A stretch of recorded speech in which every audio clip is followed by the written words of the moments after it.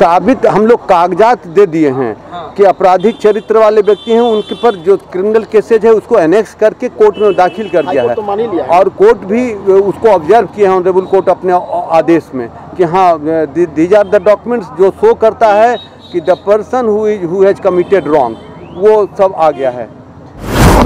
यही कहना चाहेंगे कि जल्द से जल्द इंसाफ हो और न्यायालय पे विश्वास है कि इंसाफ मिलेगा। और जनता का दबाव है, जनता त्रस्त है, काम भी नहीं हो रहा है काम भी बाधित हो रहा है। वो जो छुपाए थे तथ्य तो वो कोर्ट को भी पता है, वकील साहब को भी पता है, और अब सब लोग जान चुके हैं कि वो अपराधी प्रवृत्ति के हैं। और इसमें तो सदस्यता रद्द होना ही है, हर हाल में होना है। नमस्कार एन बी देख रहे हैं आप। मैं हूँ आपके साथ अभिषेक। देखिए, बिहार में जिस तरीके से बीते दिनों नगर निकाय चुनाव हुआ था, इसको देखते हुए पटना के वार्ड नंबर 44 के सदस्य सत्येंद्र यादव ने अपना हलफनामा में तमाम अपने अपराधी छवि को छुपा लिया था, जिसके बाद सत्येंद्र यादव पर माला जो कि पूर्व डिप्टी मेयर प्रत्याशी रही हैं पटना की। इसको देखते हुए उन्होंने कोर्ट में केस दर्ज किया, जिसके बाद पटना हाई कोर्ट से कहीं ना कहीं मामला को संज्ञान में लिया गया और जिसके बाद माला सिन्हा पटना के सिविल कोर्ट पहुँची है। तो वही अधिवक्ता है माला सिन्हा के। क्या कुछ कह रहे हैं, वो सुने आपने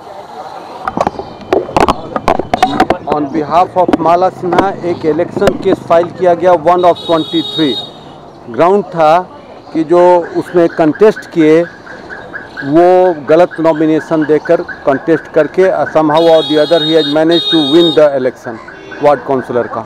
वी हैव चैलेंज कि नहीं उनका जो नॉमिनेशन पेपर था उसमें तथ्यों को छुपा लिया गया और उन पर आपराधिक चरित्र के व्यक्ति थे उन सब बात को छुपा कर लिख दिया गया कि I have got no criminal antecedent आपकी फिटनेस का राज क्या है? एशवेल ड्रेस ये एक ही बॉटल में है। Stress weakness acidity obesity hair fall skin की हर परेशानियों का एक ही हल। एशवेल लाइफ डायबिटीज़ फ्री लाइफ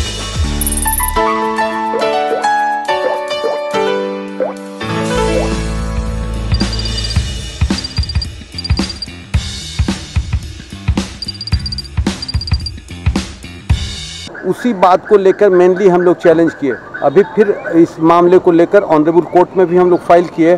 वहाँ से यह ऑब्जर्वेशन हुआ कि a man who is who has concealed something in nomination paper it must be he must be penalize adjudication का आदेश हुआ है कि विद इन ए ईयर इसका डिस्पोजल हो जाए एक्सपीडियसली और उसी के अनुकूल अभी वो समय ले रहे हैं, आज भी डेट था but only time they are taking time after time अब ऐसा है हम लोग वेट कर रहे हैं जब जवाब दें तो इसका सुनवाई जल्द होगा। जैसा कि ऑनरेबल कोर्ट फिक्स कर दिए हैं टाइम कि within a year it should be dispose of उनकी सदस्यता चली जाएगी अब। अब तो न्यायालय पर डिपेंड करता है जब तथ्य पाया जाएगा उनके विरुद्ध तो जाना चाहिए ऐसा हम लोग को लगता है। अगली सुनवाई अभी तिथि निर्धारित नहीं हो लेकिन जल्दी ही within twenty ninth of this month आज क्या हुआ सर? आज यही हुआ they have prayed for time again like previous तो फिर उनको टाइम मिला है।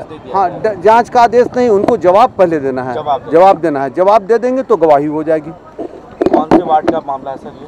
Ward number forty four ward number ward number forty four जी। न्यायालय पर भरोसा है? बिल्कुल भरोसा है। न्यायालय पर तो ही आस्था है तब तो किया जा रहा है।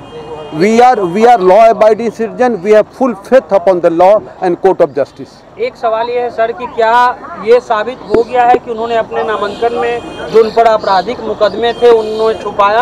तो साबित हम लोग कागजात दे दिए हैं कि आपराधिक चरित्र वाले व्यक्ति हैं उनके पर जो क्रिमिनल केसेज है उसको एनेक्स करके कोर्ट में दाखिल कर दिया हाईकोर्ट तो लिया है है। और कोर्ट भी उसको ऑब्ज़र्व किया है ऑनरेबल कोर्ट अपने आदेश में कि हाँ दीज आर द डॉक्यूमेंट्स जो शो करता है कि the person who has committed wrong वो सब आ गया है। पर्चे दे सर पर्चे दे दे अपना जी मैं नवीन कुमार हूँ मैं अधिवक्ता हूँ सिविल केसेज करता हूँ। यही कहना चाहेंगे कि जल्द से जल्द इंसाफ हो और न्यायालय पे विश्वास है कि इंसाफ मिलेगा और जनता का दबाव है जनता त्रस्त है। काम भी नहीं हो रहा है काम भी बाधित हो रहा है इसी बीच। तो जनता का दबाव है कि आप जल्द से जल्द ये सब जो कार्रवाई चल रहा है वो पूरा हो और वो जो छुपाए थे तथ्य तो वो कोर्ट को भी पता है वकील साहब को भी पता है और अब सब लोग जान चुके हैं कि वो अपराधी प्रवृत्ति के हैं।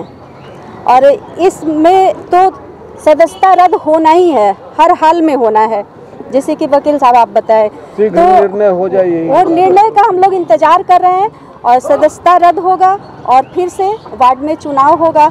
तो हम लोग इसी का इंतज़ार कर रहे हैं और डेट पे डेट पड़ रहा है वो नहीं आ रहे हैं। अगर उनको लग रहा है कि हम गलत नहीं हैं तो आके जवाब देना चाहिए। सबके सामने कोर्ट में आकर के उनको जवाब देना चाहिए कि हाँ ये गलत माला सिन्हा बोल रही है। तो वो आ नहीं रहे डेट पे डेट बढ़ रहा है। बस न्यायालय से यही कहना है कि जल्द से जल्द इंसाफ हो। दायर किया था कोर्ट में इस मामले को कब दायर किया था जनवरी को। अभी तो जनवरी में ही हम लोग किए थे। जनवरी के बाद फरवरी में किए थे। फरवरी में। हम्म। तो अब जनवरी में तो रिज़ल्ट ही आया क्या उम्मीद लग रही है?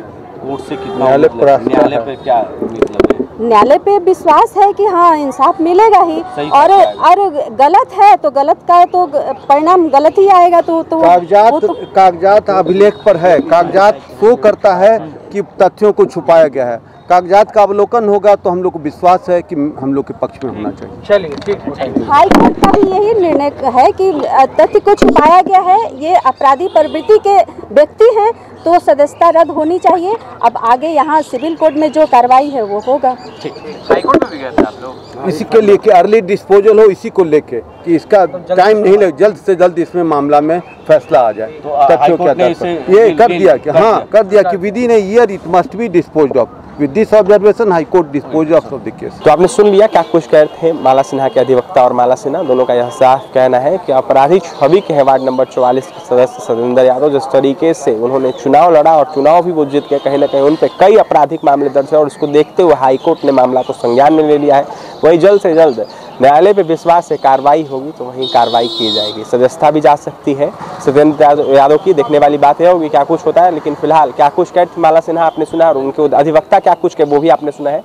और भी तमाम खबरों के लिए एनबीसी ट्वेंटी के साथ बने रहे। पटना से सहयोगी पंकज के साथ अभिषेक रिपोर्ट।